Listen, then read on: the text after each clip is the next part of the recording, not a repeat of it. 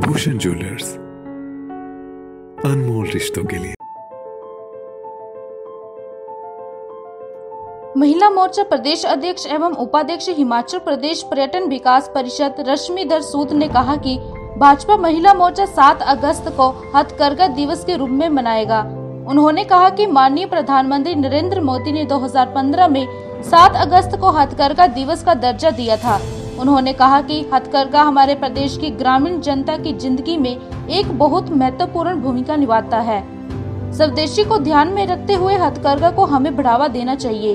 इसी मुहिम के अंतर्गत भारतीय जनता पार्टी, महिला मोर्चा, हिमाचल प्रदेश 7 अगस्त को खादी की वस्तुएँ को बड़ी मात्रा में खरीदेंगे और पहनेंगे। साथ ही पूरे प्रदेश की जनता को इस मुहिम के साथ जोड़ने का कार्य करेंगे। उन्होंने कहा, हिमाचल प्रदेश की जनता से भी आग्रह किया कि 7 अगस्त को हथकरघा से संबंधित वस्तुओं को खरीदकर इस उद्योग को बढ़ावा दें।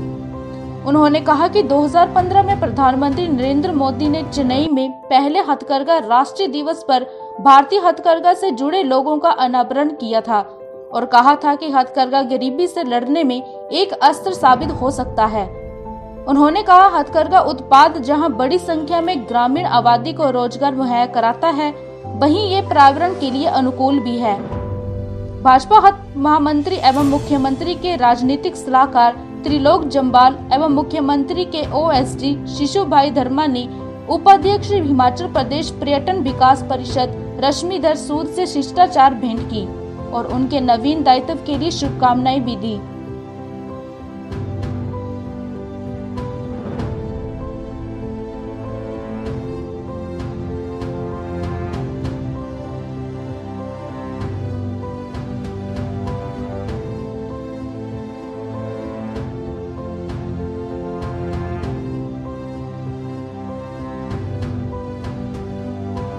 7 अगस्त 2015 को नरेंद्र भाई मोदी जी ने हथकरघा राष्ट्रीय दिवस और हैंडलूम दिवस को राष्ट्रीय दिवस के रूप में घोषित किया, क्योंकि ये हमारे देश की, हमारे प्रदेश की एक बहुत कड़ी महत्वपूर्ण है। क्योंकि हथकरघा वस्तुओं से निर्मित चीज़ें जो हैं, उन्हें हमें इस्तेमाल करना है, हैंडलूम को इस्तेमाल करना है।